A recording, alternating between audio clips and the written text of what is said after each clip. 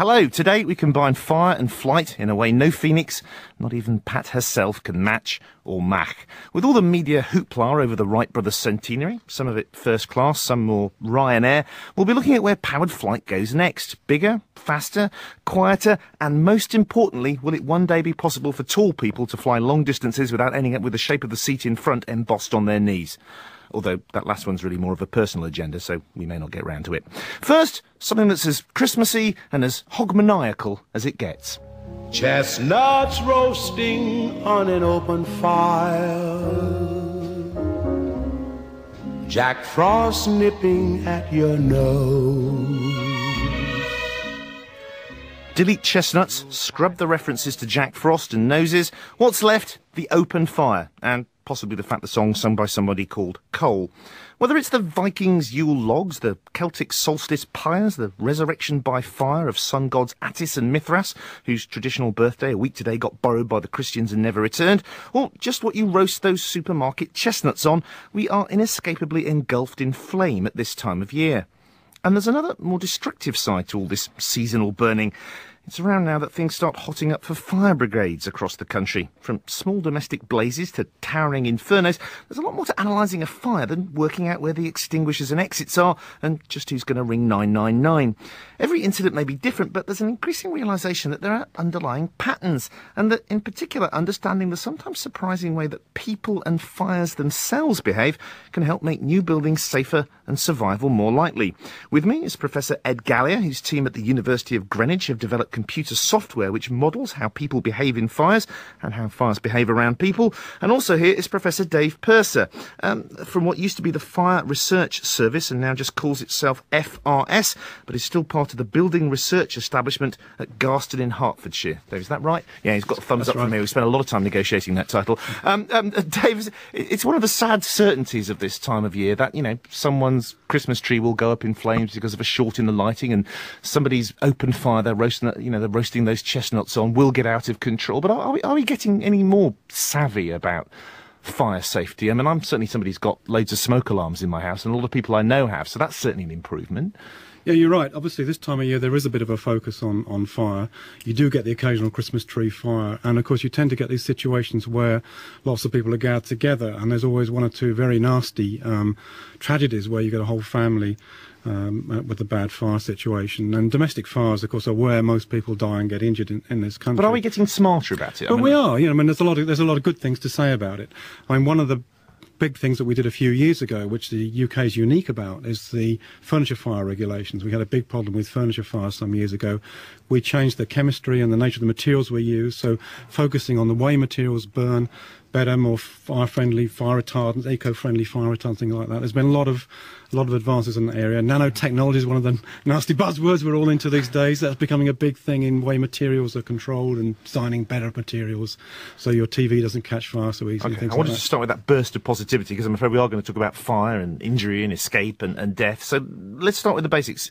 When we get fatal fires, what are the main causes of death? Well, there's, there's sort of three things going on in any fire. There's, there's what the fire itself is doing, how quickly that's growing, how it spreads, and what we can do about that. There's the design of the building and the systems in the buildings, whether you've got good alarms, whether you've got fire suppressant systems or fire extinguishers or sprinklers. And then there's really another key, key thing is what the people do and how they behave and then how they're affected by the smoke. And the way people are actually killed in fires and injured is nearly always due to smoke rather than burns. You're four times more likely to be um, poisoned by toxic smoke than you are actually by to be burned in a fire. So one of the areas we've focused on a lot is, is the way fires grow and smoke, toxic smoke spreads around a building. Okay, well, I hope to cover as much of that as we can. But um, uh, Galea, you- you've developed software which which shows how real fires behave. Now, I suppose the first question is, well, why do we need software to do this? Why can't we just observe the trail of destruction? Well, if we if we relied simply on looking at uh, existing fires, fires that happened in the past, well, we would only know about the fires that happened in the past, and we couldn't really apply that to our novel building designs or our new aircraft designs or our new train designs. So we need tools that will simulate how the fire behaves accurately enough so that we can put them into these novel new building designs or aircraft designs and then see if the designs are fit for purpose, if they uh, um, uh, uh, uh, prevent the fire from spreading very rapidly, if the smoke is going to move very rapidly through the building, will people have enough time to get out and so on. So it's very important to develop these tools. And at Greenwich, we've developed the SMARTFIRE simulation tool that simulates the fire, and the Exodus uh, human behaviour tool that simulates how people behave in fires and, and enables us to look at building designs and see if they're okay from fire and evacuation. Well, let's start with the smart fire first. There must be an enormous number of factors to weigh up. You've got the materials, you've got ventilation, you've That's got all right. the little bits of equipment that are lying around, or if it's a domestic fire, presumably those nicely wrapped Ninja Mutant Turtle presents. I mean, lots of different things can, can suddenly change how, how dangerous a situation is. That's right, and you need to take all of that into account when you're simulating the fire. I mean, the first thing that you've got to put into the into the model is the actual structure of the building, and so we we've enabled the SMARTFIRE software to read a CAD drawing, so you can pull in the the complex structure into the software. But then you need to put look at things like the material properties. What type of materials are, are going to be present in the fire? What sort of wood are you going to have? What sort of plastic materials are you going to have? Uh, what's even the orientation of the materials will make a difference in terms of how the fire spreads. And then, as you said, the ventilation becomes quite important.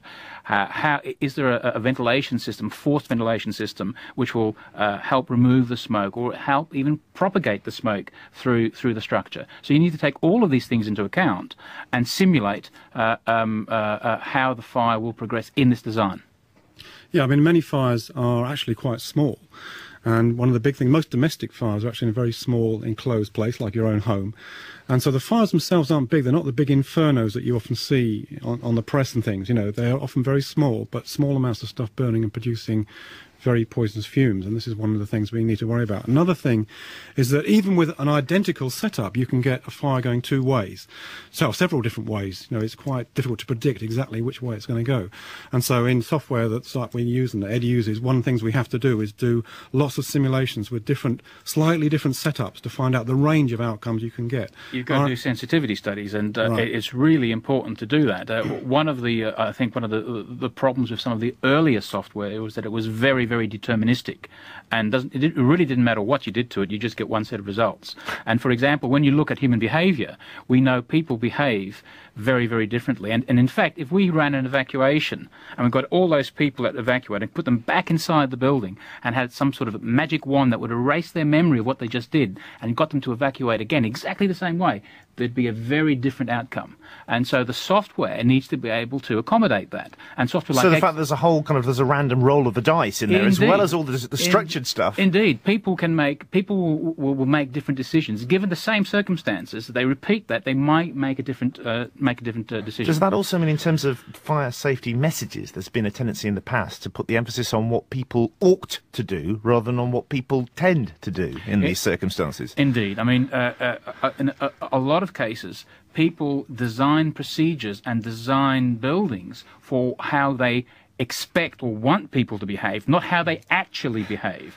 I mean, for example, there's all sorts of weird things people do, and we've got security video footage, for example, of what happens in real fires, and you can see, for example, when the fire alarm goes off, people don't actually rush out of the building. They they they'll sit around and wonder, well, is that a false alarm or um, or is should I go out, um, and so on. And, in fact, look at the fire. People actually, we've got security video footage of people in department stores, for example, with a blazing fire, and people are standing there looking at the fire, or they're still queuing up at the till to pay when when the sh- when the shop's filling with smoke and fire. They're wondering if they're going to get a reduction. Probably, I should think. I mean, I mean, Dave, this is a problem, isn't it? The, the fire alarm problem is that most of us, fire alarm doesn't equal fire. It equals pointless trip out of office, down flights of stairs, standing in cold for ten minutes, and then going back to desk. So we, we've been conditioned not to think of it as meaning danger, danger.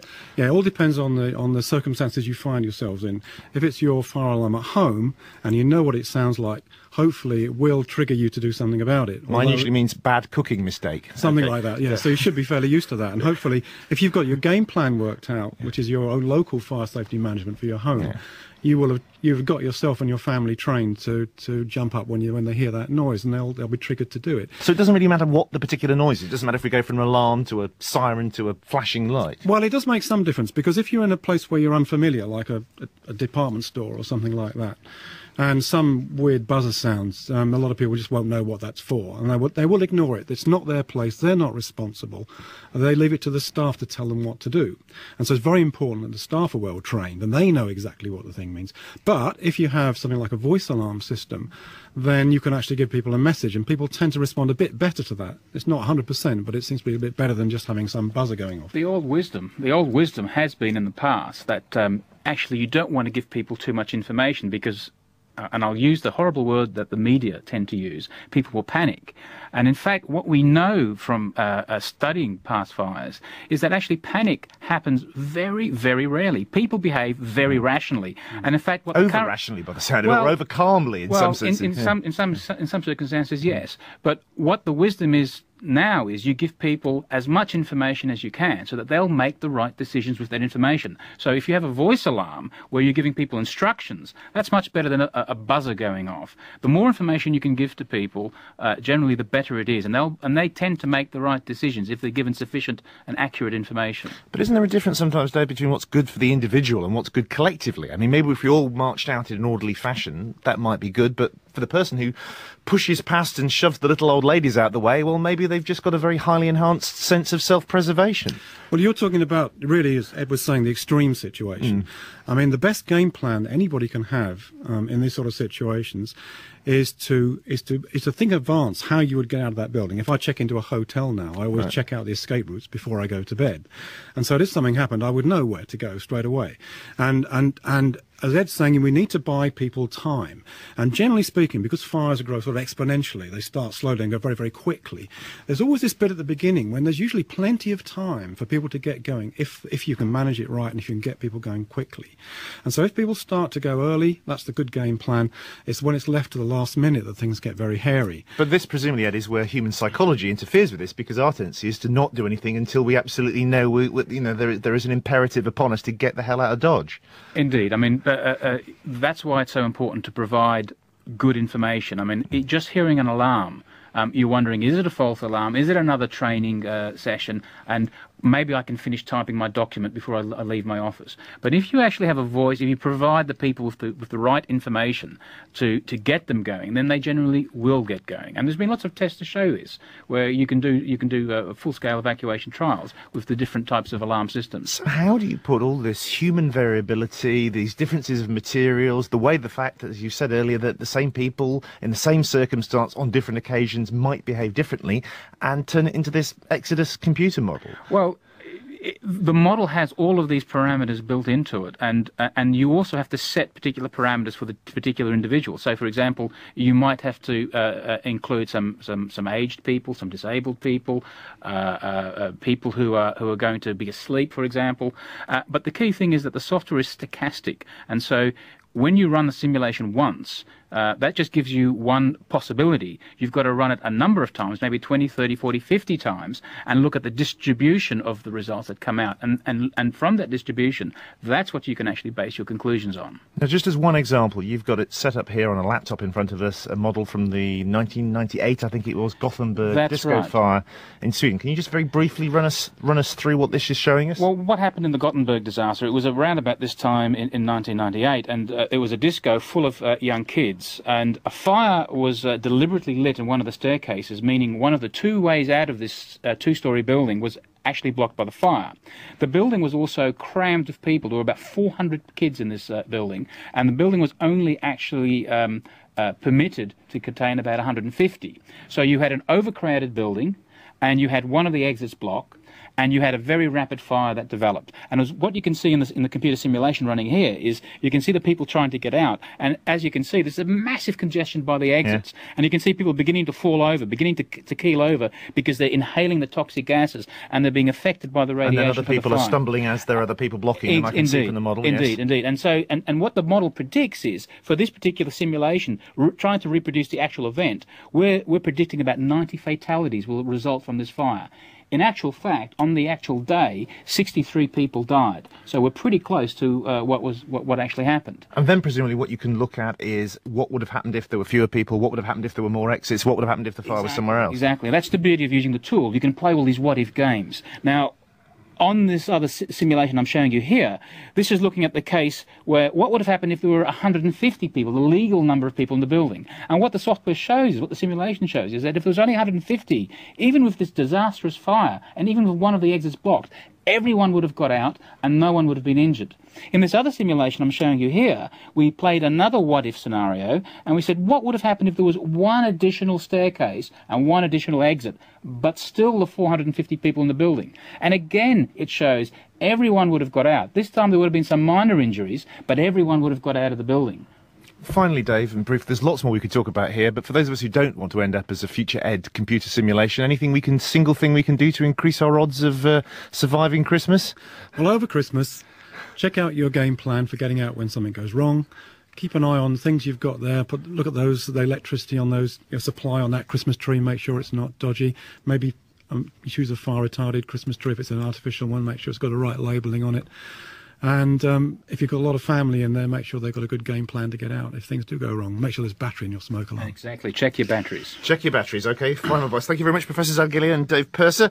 Uh, thanks for that conflagration conversation. More on the genesis of Exodus and other revelations about fire safety on our soon-to-be enhanced web pages, www.bbc.co.uk forward slash radio 4 forward slash material world.